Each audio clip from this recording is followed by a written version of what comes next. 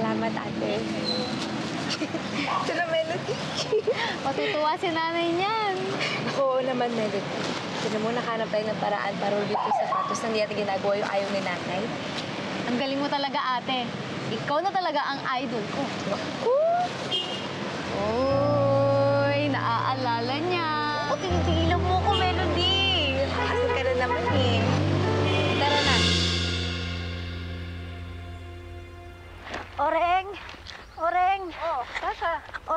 May, may, sasabihin ako sa'yo. Oh, Huwag kang magagalit, ha? ano? Hindi ko naman sinasadya, eh. Ano kasi, ano pang ginawa mo?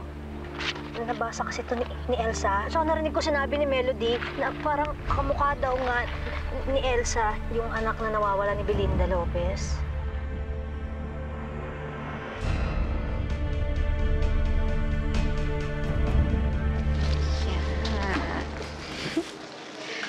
Dami nito, Melody. Aba, mabilis na ubos sa mga paninda niyo, ah. Siyempre po. Eh, ang galing po ni ating kumanta. Napabilib po niya lahat ng mga customers. Tapos, may lumapit po na pogi. Pinakyaw lahat ng paninda namin. Eh, ang galing po niya kumanta eh. Tapos, napabili pa po niya sa paggawa ng gulong. Tinahod siyang yung benta namin. Ano? Snerte lang ko sa customer, Chang. Siguro dapat lagi kayong kumakanta para lapitan kayo ng mga tao at maubos yung mga paninda nyo. Mabait po kasi yung customer. Natuwa po sa akin. Naku, pahambol ka pa ate.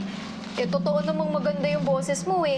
Kaya nga gusto kong sumali tayo dun sa The Brightest Star Contest. Ang laki pa ng premyo, tapos pwede ka pang mag-artista. Melody, di ba nga hindi pwede kasi ayaw ni nanay. Sige po, Chang, una na ako.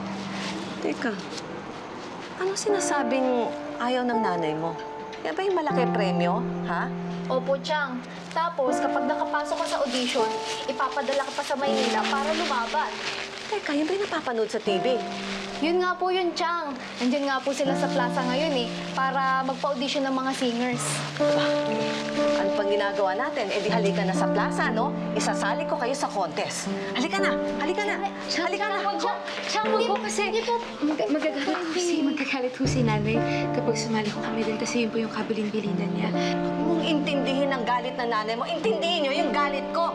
Chang, pasensya na ho talaga pero huwag na ho, okay na ho kami kasi ayaw ho namin magalit si nanay. Sayang ang pera, no? Sayang ang kikitain nyo doon. Kaga pala yung nanay nyo, no? Sorry. Sorry? Ano magagawa ng sorry mo? Kung mawawala naman sa akin yung anak ko. Oreng, hindi ko sinasadya. Aksidente lang. Aksidente. Aksidente? O talagang gusto mo akong ibuking kay Elsa? Wala pang 24 oras ko sinabi sa'yo yung sikreto ko. Sinabi mo, iingatan mo yon. Tapos ngayon malalaman na nilang lahat? Wala ka. Wala akong ganong intensyon. Wala talaga. Alam mo naman eh, totoo akong kaibigan. Sana naman huwag mo ko pang isipan ng masama. Sana naman magkaibigan pa rin tayo. Oreng? Oreng? Ano nangyayari sa'yo? Oreng, may masakit ba? Oreng! Ah, tulungan niyo ako, mga kasama! Oreng! Oreng! Halika na kayo, please!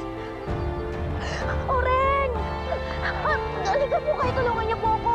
Oreng! Oreng! Oreng! Kaga talaga yung nanay. Chang, Chang, wag mo ko. Ito di ba sayang ang pera? Di ba kailangan nyo ng pera? Chang, Wag na pwede. Pasensya na ho talaga, Chang, pero hindi ho talaga po pwede. Ano ito? Itong sapatos na to, ha? Kanino to? Ha? Nangungupit kayo, no? Kinukupitan nyo ako? Ha? Kinukupitan nyo ako? Ha? Ha? Kinukupitan nyo ako? Ha? Hindi po, hindi po, Chang. Maniwala po kayo sa amin. Hindi po kami nangungupit. Hindi kayo nangungupit. Eto, oh, eto, kitang-kita. Chang, pa- para po yan, Kanino to? pa- para po yan kay nanay, Chang. Chang, na, hindi ho kami nangupit sa inyo. Galing ho yan sa extra income namin. Sorry ho talaga, Chang, pero sa susunod ho, sasabihin ho namin kayo. Pero kailangan na kailangan ko kasi yan ang nanay namin eh. Sa susunod, lahat sasabihin nyo sa akin. Lahat ng galaw nyo, sasabihin nyo. Nako, Oring, ang taas ng BP mo. 160 over 110.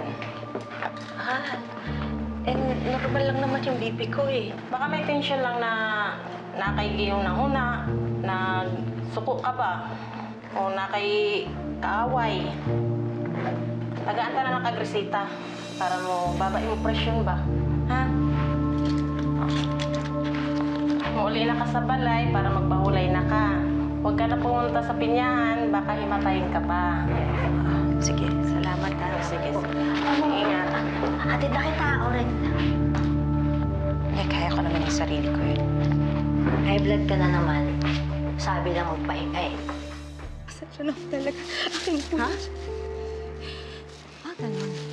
So, kailangan niyo tong sapatos na to? Ha? Mahalaga sa inyo ang sapatos na to. Pwes, mamili kayo.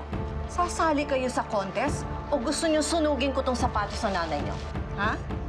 Huwag mo akong dadaanin sa iyak-iyak mo, ha?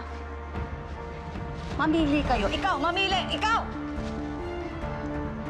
Gusto mo masakpal ulit? Ha? Ikaw, gusto mo masampal? Gusto mo? Ha? Ako masusunod. Hindi kayo. Hindi nanay nyo. Ako ang masusunod. Eh, mamili kayo. Susunugin ko to ngayon o sasali kayo sa contest? Anong gusto nyo? Chong!